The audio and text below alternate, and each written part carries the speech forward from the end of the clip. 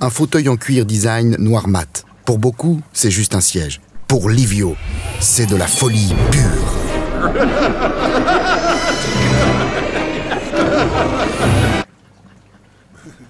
Trouve ton bonheur chez le numéro 1 de la seconde main. Ricardo.